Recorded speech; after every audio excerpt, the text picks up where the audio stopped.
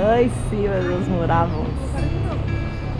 E aqui estamos na gôndola de Nova Veneza. Olha, gente, uma comida bem típica italiana é polenta, a polenta mais mole e fortaia. E esta é a barragem de São Bento, aqui na cidade de Siderópolis. Olá, galera, tudo bem com vocês? Eu sou Irone e você está no canal Viver e Aprender. Hoje é dia de matar saudades. Vamos visitar Criciúma, aqui em Santa Catarina, no sul de Santa Catarina. É, nós moramos oito meses ali em Criciúma e a galerinha tá pedindo muito para voltar lá, para visitar, matar saudades e visitar os lugares que a gente mais visitava lá quando a gente morava lá. Então, nós vamos visitar Criciúma e a região ali, Nova Veneza, mostrar a gôndola para vocês. É, em Siderópolis também tem a, o Santuário Aguaí, que é um restaurante maravilhoso. Todo mundo que ia visitar a gente lá em Criciúma, a gente levava lá para almoçar. Tem um café maravilhoso também. Tem, tem a represa de São Bento ali em Siderópolis. Então tem bastante lugar muito bonito ali na região. E vamos lá visitar, matar saudades. Então venham com a gente também para conhecer um lugar novo. E aqui nós estamos chegando na entrada da Via Rápida, que é o acesso à cidade de Criciúma. Ela foi inaugurada faz uns três anos e ela é via dupla.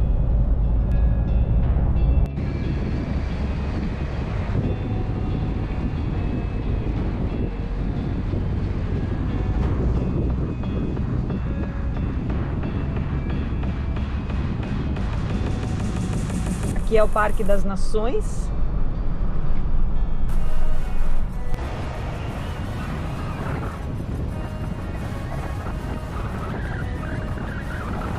E aqui estamos matando saudades.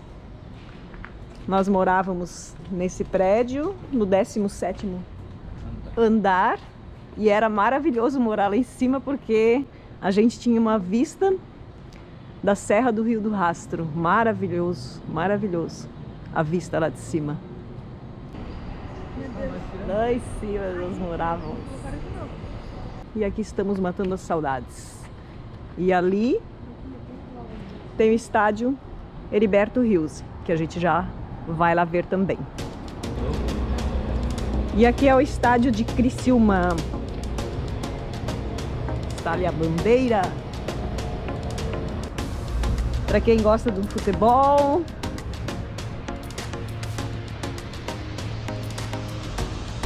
Aqui é a portaria da, do Heriberto Rios.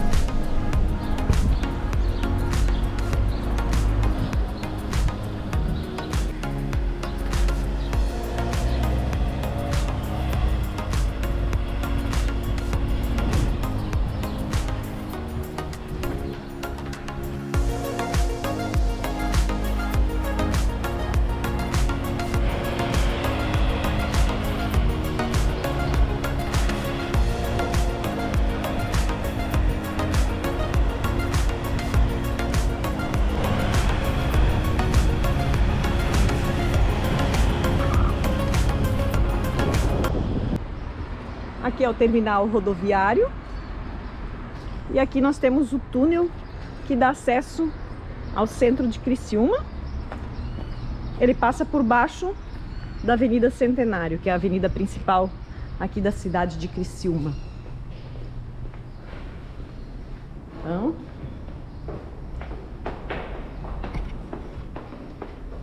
Bora passar por baixo do túnel mais uma vez, né, filho? Quantas vezes nós passamos aqui embaixo? E hoje tá vazio, né? Uhum.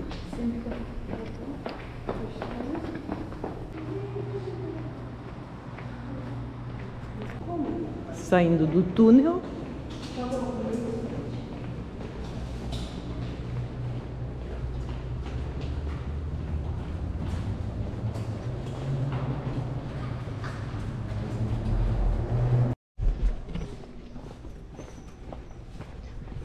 E aqui o centro de Criciúma.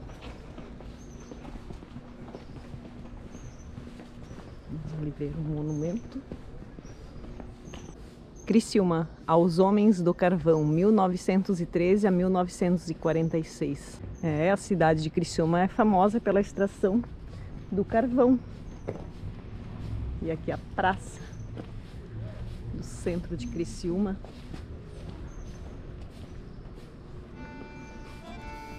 O início da colonização de Criciúma ocorreu em 1880 e foi nessa época também que houve o maior número de imigrantes italianos vindos para o Brasil. É, e eles se concentram em maioria no sul e no sudeste do Brasil. Aqui em Criciúma foram 22 famílias que saíram do norte da Itália para serem os primeiros colonizadores de Criciúma. Isso se deu em 6 de janeiro de 1880, o mesmo dia do meu aniversário e foram 145 imigrantes italianos vindos da região da Lombardia, também de Trentino e de Vêneto. A história do nome Criciúma se dá a um capim chamado Creciúma, que era muito comum aqui na Praça da Nereu Ramos. E naquela época as pessoas se reuniam na praça para discutirem acontecimentos importantes e os seus cavalos comiam esse capim mas pela ortografia um pouco complicada, em meados de 1950 simplificaram o nome para Criciúma. A cidade deslancha com a descoberta do carvão e seu potencial econômico. Aqui a Praça Nereu Ramos e ali na frente já tem a Catedral São José. Olha que linda essa catedral.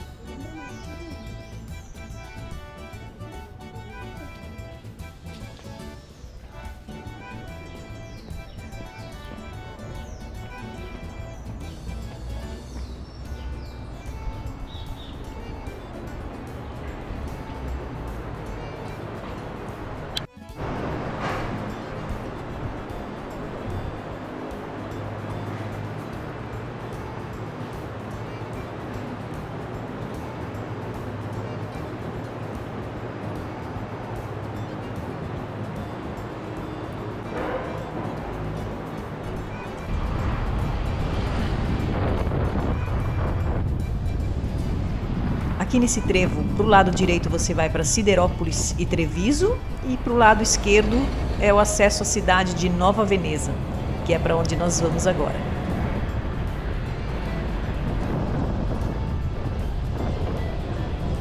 Estamos chegando aqui na cidade de Nova Veneza e aqui tem um portal lindo, todo de pedra e aqui a cidade de Nova Veneza é muito famosa pelo Carnavale de Veneza. Olha que lindo.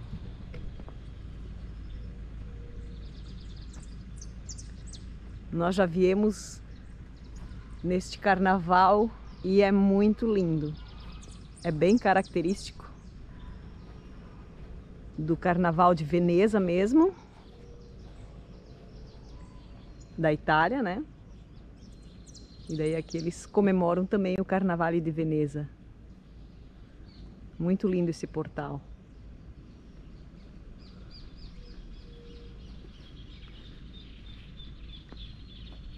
E agora vamos lá no centro conhecer a gôndola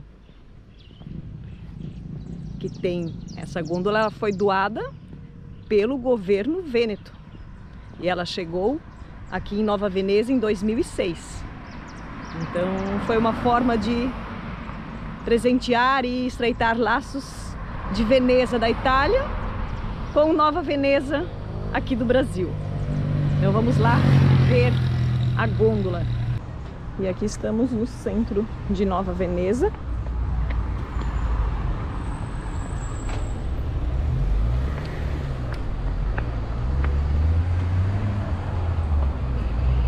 Cidade muito charmosa. Olhem que lindo. E ali está a gôndola.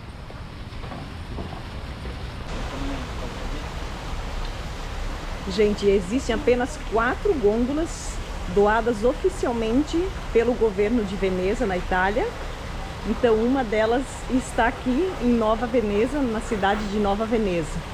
Então é um orgulho muito grande para a cidade de Nova Veneza e também para Santa Catarina, para o Brasil. Hoje a gôndola ela fica aqui na praça, né, central de Nova Veneza, que é a Praça Humberto Bortoluzzi. E como eu falei, é motivo de muito orgulho para a cidade. As outras três gôndolas, elas estão em Toronto, no Canadá, uma em São Petersburgo, na Rússia, e a terceira fica em Pequim, na China. E aqui nós temos a nossa em Nova Veneza, no Brasil. A cidade de Nova Veneza ela foi fundada pelo italiano Miguel Napoli. E as primeiras famílias italianas chegaram aqui, foram 400 famílias italianas, chegaram em 1891. E depois, no ano seguinte, vieram mais 500 famílias italianas de Bergamo, de Veneza e de Belluno. E assim foi se colonizando a cidade de Nova Veneza, a cidade mais italiana. Com 95% com 95% dos habitantes italianos. A gôndola de nome Lucille, ela chegou em 2006, como eu comentei, né? E ela é 100% artesanal.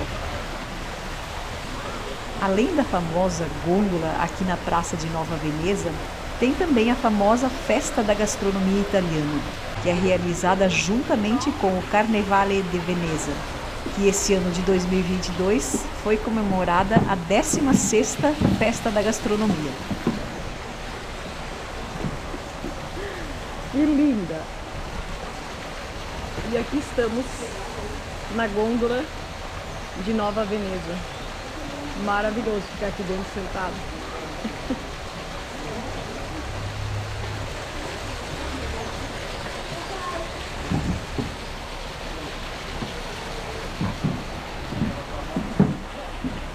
Ah, toda de madeira. Muito linda. Um presente de Veneza da Itália para Nova Veneza do Brasil. Presente muito simbólico. Com mais de 95% da população descendente de italianos, Nova Veneza é a primeira colônia italiana oficialmente instalada no Brasil República, em 1891. Então é um pedacinho da Itália em Santa Catarina. É uma cidade bastante charmosa. Já na entrada de Nova Veneza temos a Igreja Matriz São Marcos e ao lado dela tem o Museu do Imigrante. Então é um ponto turístico que vale a pena ser visitado para conhecer um pouco da colonização italiana aqui da região. Outro ponto turístico muito famoso aqui de Nova Veneza é a Casa de Pedra. Ela foi construída pelo imigrante Luigi Bratti em 1891. A construção levou 14 anos para ser concluída. Quando eles chegaram aqui na região, eles encontraram uma floresta e muita pedra. Luigi aproveitou a matéria-prima abundante para construir sua moradia, que contava com uma cozinha e adega, outra era o dormitório e a outra o estábulo. A técnica de construção foi trazida pelos primeiros colonizadores italianos.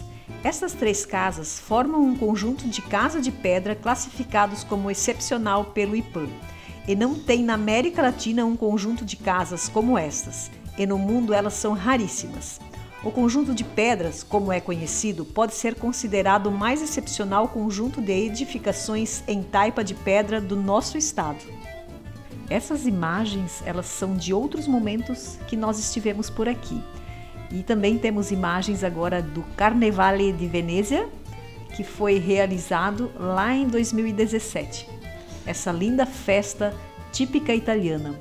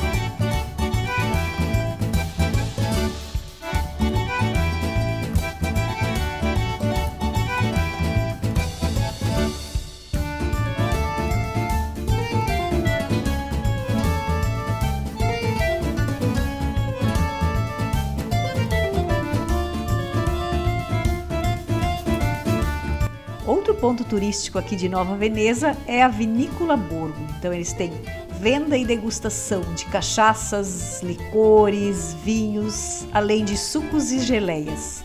A vinícola possui três pisos: o térreo, o terraço e o porão, onde são fabricados os vinhos. Existem ali garrafões centenários, alguns vindos da Itália. E esta é a barragem de São Bento, aqui na cidade de Siderópolis. E essas montanhas compõem um cenário todo especial, né, gente? Olha que lindeza de lugar. Aqui tem uma grade protetora. Estrutura nova. E aqui embaixo tinha uma localidade, por isso que tem a ponta da igreja.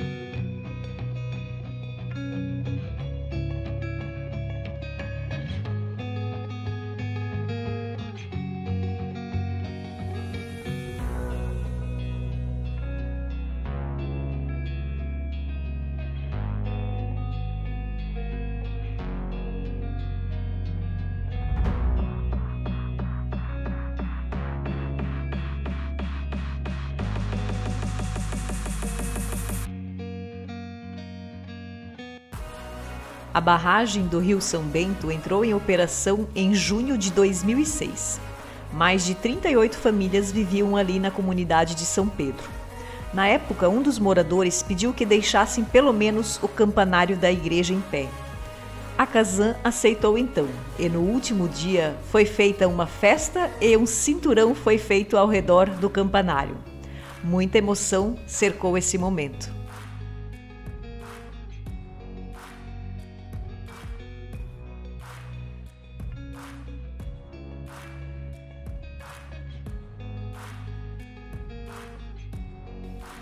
A barragem foi construída para a solução do problema de falta de água em Criciúma e em toda a região carbonífera. Principal manancial de captação para o Sistema Integrado de Abastecimento de Criciúma, beneficia 730 mil habitantes das cidades de Criciúma, Siderópolis, Forquilinha, Içara, Maracajá e Nova Veneza.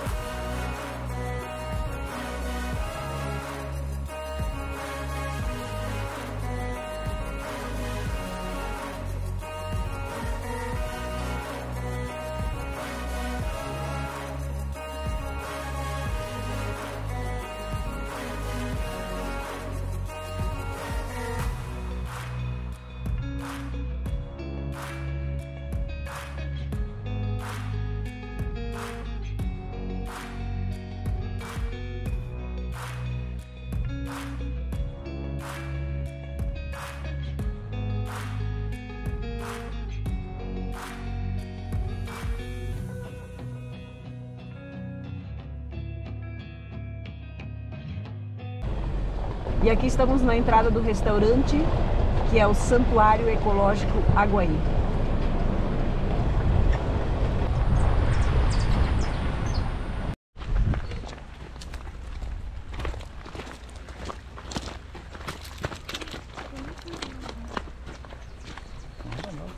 E aqui estamos no Santuário Ecológico do Aguaí. Vamos almoçar aqui, curtir um pouco esse lugar que é tão lindo. Mostrando para vocês. Olha o ganso. Ele vai com os, os pedalinhos.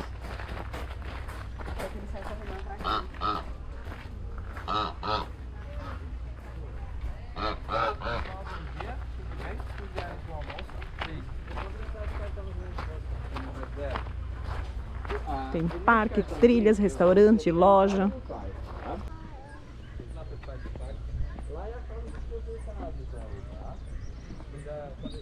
Dá acesso ao restaurante. Tem tirolesa, tem parquinho, tem pedalinho também. E essa vida maravilhosa aí dos animais. Olha que charme. Meu Deus, eles botam a cabeça dentro da água lá, aqueles. Sim, gente. Hoje tá muito quente, muito quente. Então eles estão aproveitando para se refrescar. Lá em cima tem uma ponte. O passarinho tá. E é aqui nesse lugar charmoso que a gente já veio muitas vezes almoçar. E hoje a gente veio matar as saudades. E ali é o restaurante. Nós comer. reservamos, tem que fazer reserva. Eu vou deixar o celular aqui na descrição do vídeo. Então vamos entrar aqui.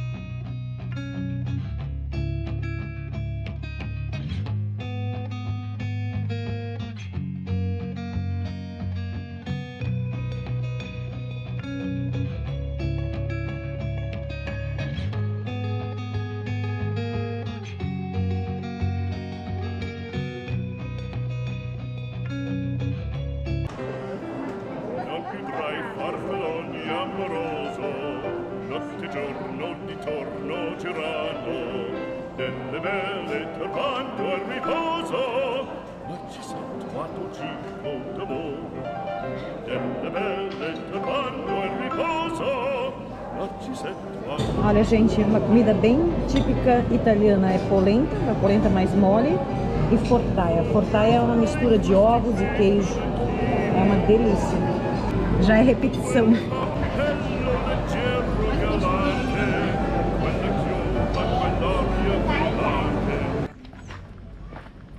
Aqui é a chegada da tirolesa. Tem um coelho ali. Aonde, coelho? Ai, meu Deus. Tem a igreja pra cá. Trilha mirante. Tem muitas atrações. Mas hoje nós não faremos essas. Olha lá o peru. Esse é mesmo, não é? Esse é mesmo é É pula. Olha o pulando. Acho que move on each and every day. The past is where it stays, way back a year ago I've changed for the better this time I thought Olha ele, olha, I would mergulhou. never O mergulho dele. Ele, ele, ah, meu Olha. I Deus. strive just to say I'm alright. And for the first time in a long time, I'm alright.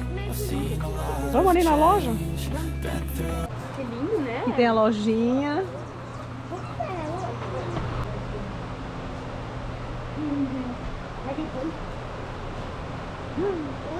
Olha, doce de leite.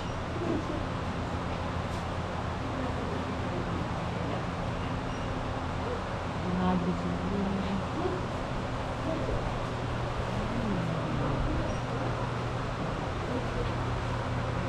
Cachaça. Olha quantos doces.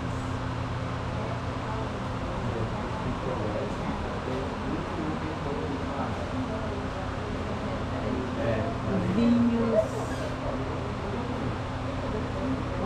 Essa é de Uruçanga.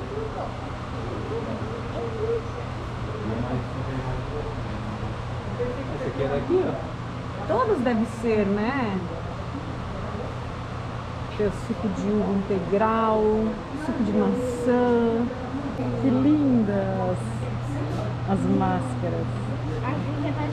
O salame, torresminho. Tem as lembranças.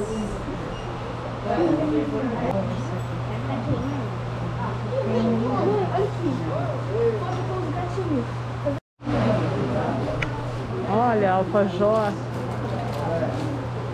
de Veneza. Tem alguns produtos aqui. Olha as bolsinhas. Olha a gôndola. Mais chocolates.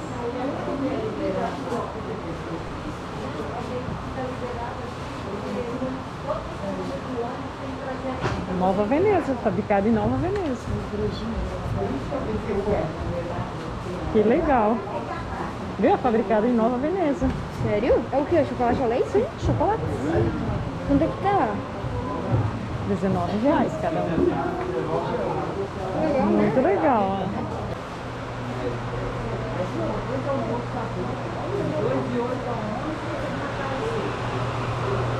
Olha que delícia a chuva. E agora nós vamos partindo, saindo aqui do Aguaí, rumo a outro destino.